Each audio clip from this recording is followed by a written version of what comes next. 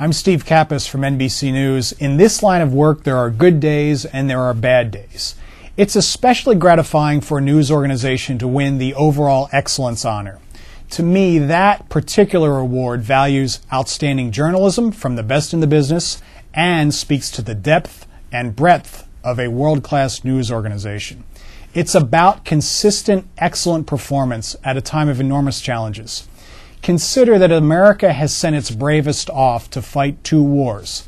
The economy faces enormous challenges. The people of the Gulf region are dealing with an immense disaster, and news events play out at a blistering rate.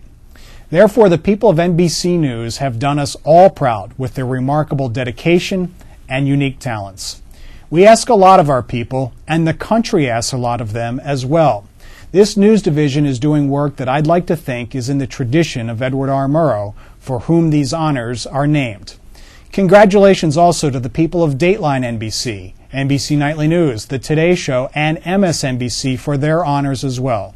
So, yes, five Murrow Awards on one day counts as a very good day around our newsroom. On behalf of all of us at NBC News, thank you for this recognition.